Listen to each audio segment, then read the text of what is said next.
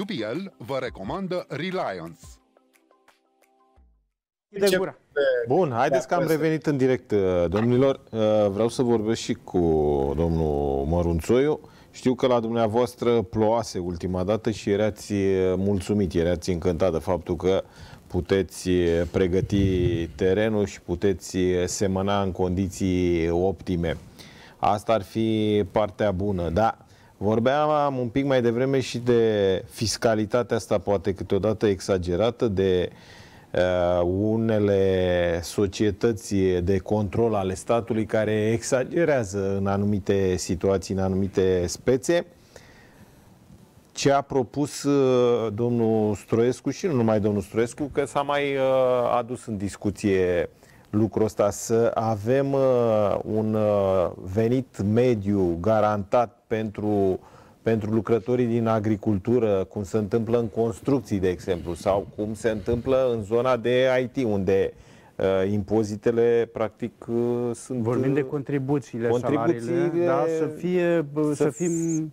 Uh, să nu fie efectiv ca să putem să mărim și noi salariile către uh, angajați și să să Să-i menținem până la urmă, urmă acolo, da. la, da. la societate. Domnul Mărunțoiu.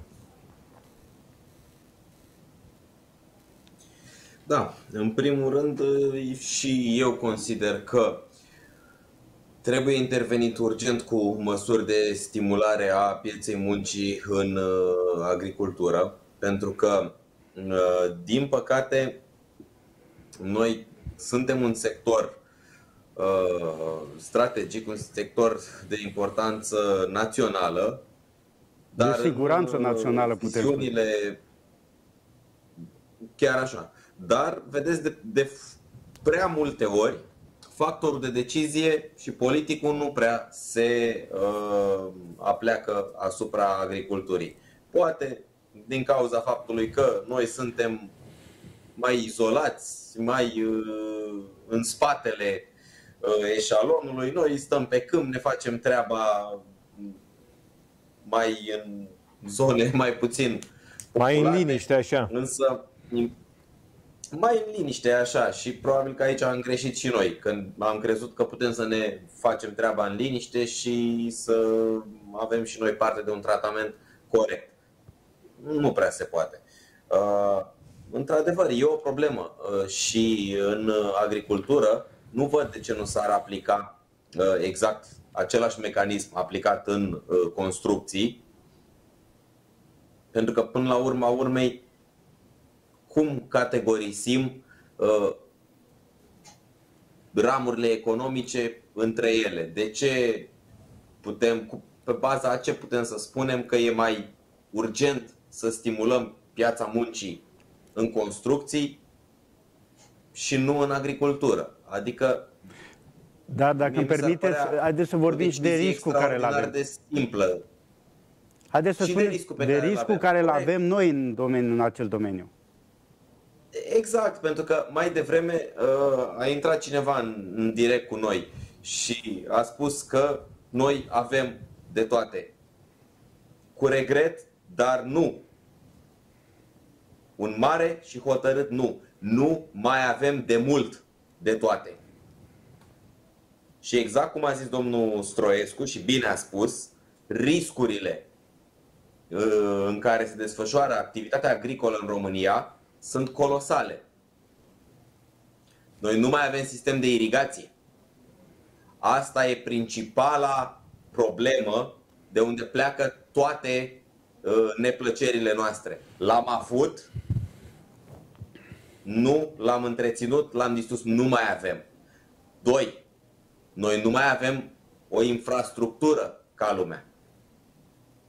Pentru că, bun, multă lume zice, de ce vă plângeți voi de infrastructură, voi sunteți pe câmp, nu știu ce. Nu, fals. Avem probleme la uh, recoltare. Sunt drumuri pe unde transportatorii nu au voie să circule sau sunt amendați dar ele sunt singurele drumuri de acces în anumite sole, în anumite parcele. Până altă parte, omul ăla cu camionul nu are pe unde să vină ca să preia ce treieră combainierul să ducă la bază. Deci nici infrastructură nu mai avem uh, nici pe departe. După aceea, depozitare, ce depozitare? Fiecare ce a putut să facă pe cont propriu dacă a putut. Depozite regionale, noi nu mai avem.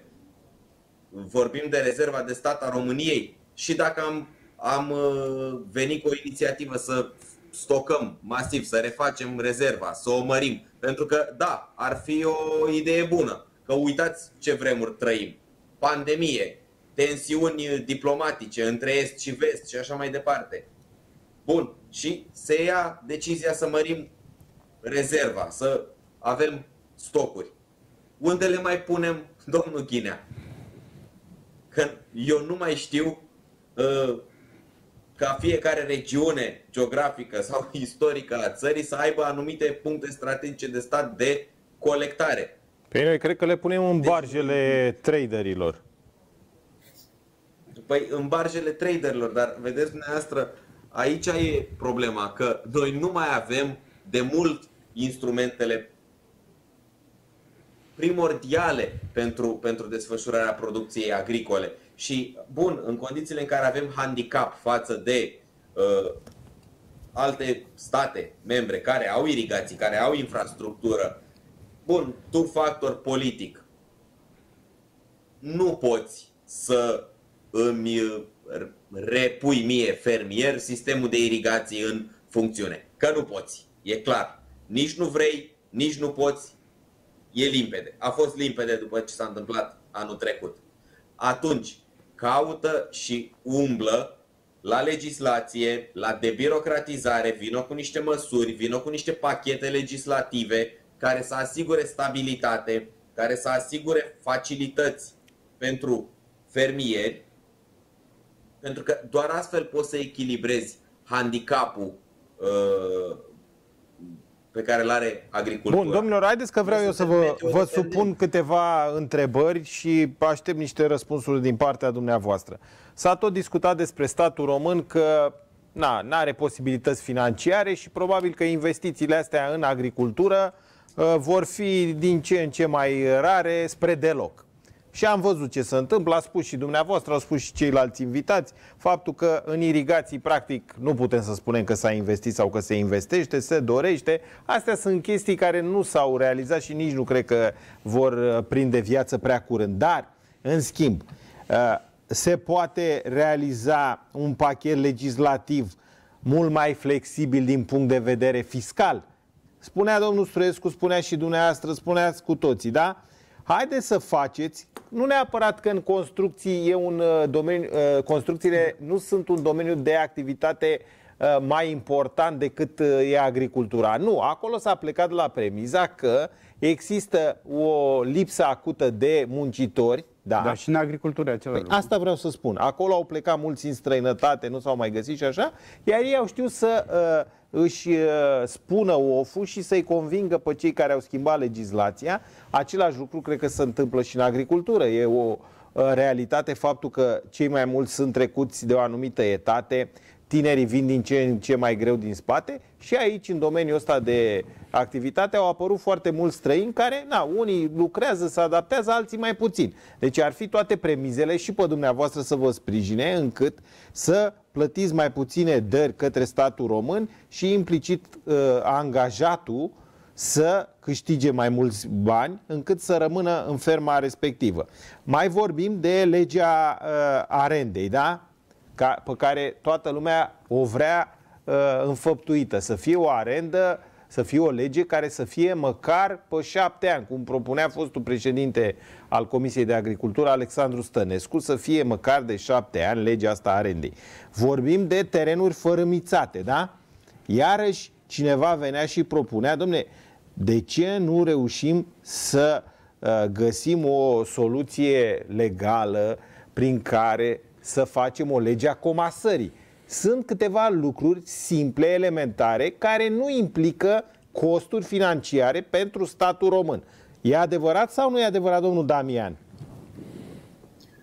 Este adevărat, este la îndemâna statului, exact, și partea de comasare, și partea de uh, a oferi uh, facilități fiscale, bănuiesc că nu se dorește, ori suntem noi acum într-o mare gaură neagră politic. Că altceva nu pot să găsesc și expresie. Suntem lăsați de izbeliște. Haideți să vrea... spunem mai direct, este un desinteres uh, de, în ultimii 30 de ani să mai General. facă ceva în țara asta.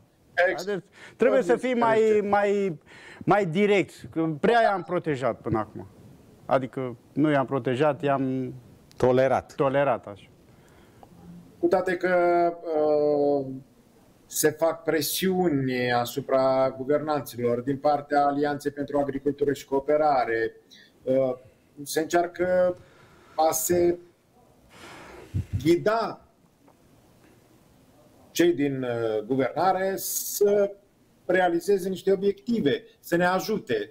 Uh, am ajuns că la guvernare sunt uh, persoane care nu le au extraordinar cu agricultura, să fim sinceri, și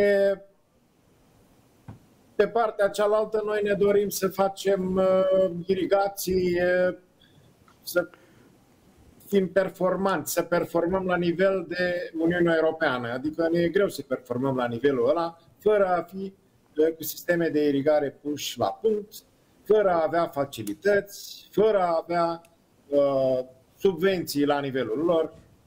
Domnul sunt... Damian, ce irigații să facem, domnule, în condițiile în care noi n-am fost în stare să prindem în PNRR suma aia despre care s-a tot vorbit de 6 miliarde de euro? La final ne-am trezit că ministerele au dat vina unele pe altele. Cei de la agricultură pe Ministerul Fondurilor Europene, că a fost o neînțelegere și așa mai departe. Domnule, clar e că banii ăia n-au fost prinși. S-a ratat încă o oportunitate majoră de a prinde bani pentru irigații. Irigații să facem din fonduri proprii. Cine uh, subvenționează, cine uh, ajută până la urmă să poți să ai într-adevăr un sistem de irigații bine pus la punct. Se vor reabilita cel mult niște stații vechi, depășite din toate punctele de vedere, energofage, energofage și cam pe aici. Cam la asta se limitează sistemul de irigații în România. Și dacă mai fi o secetă cum a mai fost anul trecut, o să mai dea niște despăgubiri dacă se nimerește în an electoral.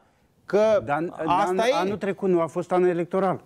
Și păi au primit, Păi au primit fermierii, eu nu Ați primit, primit în uh, zona Constanța pentru uh, culturile de primăvară? Nu, nu, nu, pentru toamnă au primit. Pentru culturile de primăvară nu a plătit nimeni nimic. Nu, A, nu, pentru toamnă s-au dat. Pentru toamnă s-au dat, dat ceva, dar nici au fost Bun, în prag de alegeri. Dar haideți să, da. de ce să dăm acei bani? Haideți să facem un calcul, din punctul meu de vedere ca fermier. Câți bani a cheltuit statul român sau a dat, aia care i-a dat, da. de-a lungul an, în ultimii 30 de ani pentru secetă, da ce se putea face cu ce ei? se putea face cu ei. Și n-ar fi fost o problemă. Și în direct la noastră a fost, cred că domnul uh, discuta despre secetă în, uh, uh, din zona Constanța, unde a irigat grâu. Și domnul unde, Lămureanu. Lămureanu, exact. Unde a irigat grâu a făcut 6 tone producție la hectar, unde nu a uh, irigat a făcut uh, producție zero. Bun. Uh, dar Problema este, uh, dacă luați declarațiile uh, aleșilor noștri care sunt da. acum, înainte, uh, sau în campanie electorală, să vedeți ce declarau atunci și ce au făcut. Bine, nu numai ei, și în 2016, în 2012, același lucru.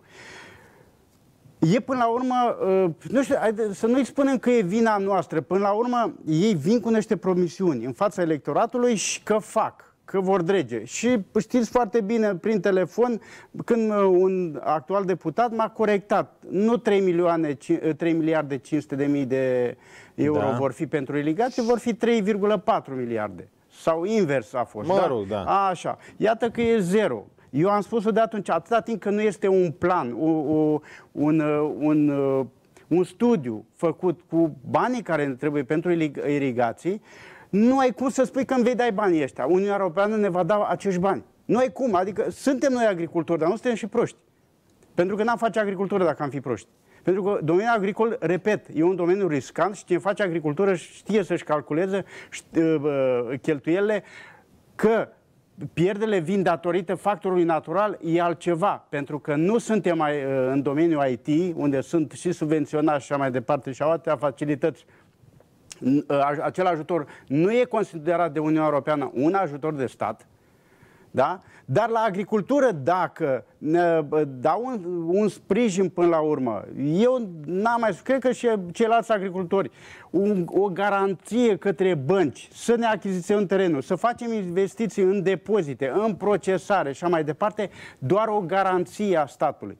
Ce face statul cu terenul care uh, un fermier care face o cumpără un hectar, 20, 100 de hectare, care e posibilitatea lui, nu mai poate să-l plătească la, către bancă rata la un moment dat.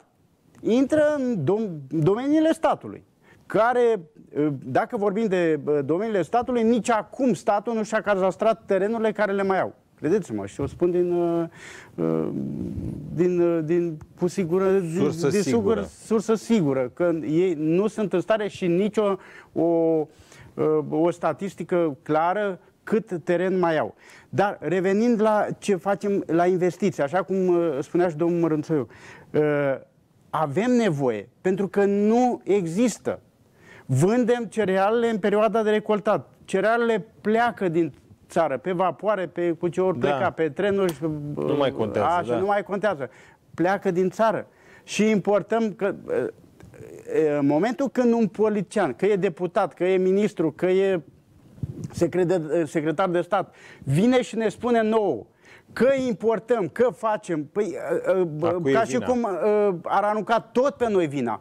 Păi pentru că voi nu sunteți în stare în ultimii 30 de ani toți care ați fost, n-ați fost în stare să avem legi, așa, repet, cum spuneau și colegii din, din platou, ca să Uh, facem depozit, să avem fabrice procesare așa cum erau înainte. Sau haideți să bă, vedem cum e în uh, străinătate. Să mai înțelegem o parte din agricultură unde nu se pot face irigațiile, dar și acolo avem nevoie, avem nevoie de un, un program, de un plan ca să sprijinim agriculturii. Spunea uh, colegul prin telefon, sunt uh, acolo unde se făcea agricultura pe deal și se face. Nu prea poți să irigi peste tot, că n-ai o sursă de apă. Dar și acolo unde se face agricultură trebuie să ținem cont de acei fermieri unde nu se pot face irigații. Dar haideți să le facem pe alea unde uh, se pot face.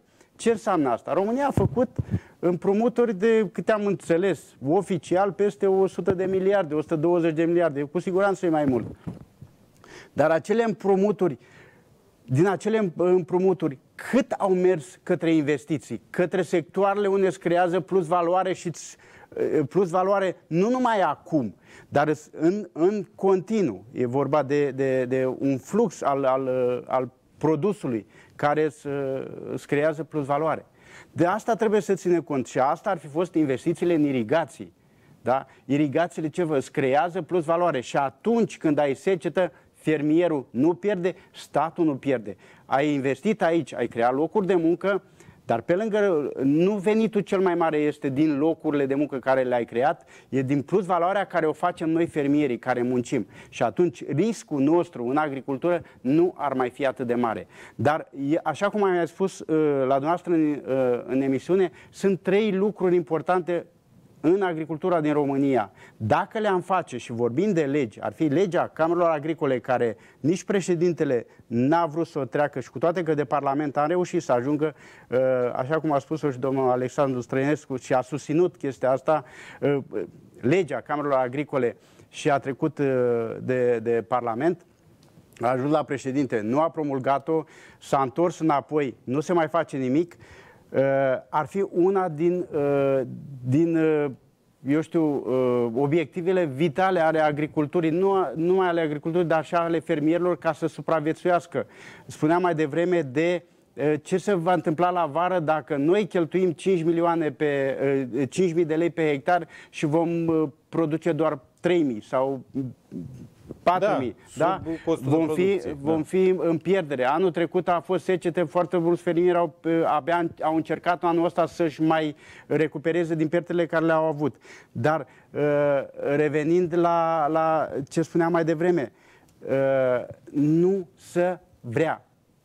Da? Acele investiții să vină în irigații, acele împrumuturi, de fapt, ca să nu mai avem nici noi at- atâtea riscuri și în special uh, riscurile cele mai mari uh, sunt acolo uh, în zonele de, de lung a Dunării, până la urmă de, unei, de la Mehedin și până la, la Tulcea, sunt zonele cele mai secetoase, studiile au fost făcute, de aceea și înainte de 89 au fost construite acele sisteme de irigație, acea infrastructură care Uh, uh, s-a investit mult, s-a muncit mult. Acum, uh, având această infrastructură, nu mai trebuie să mai cheltuim atâți bani, atâția bani să despăgubim până la urmă proprietarii, să facem acele săpături când avem acele canale, trebuie doar impermeabilizate, trebuie infrastructura secundară, vorbim de antene, de hidranți și așa mai departe. Acolo nu este, unde, nu este posibilitatea cu acele aripi de, de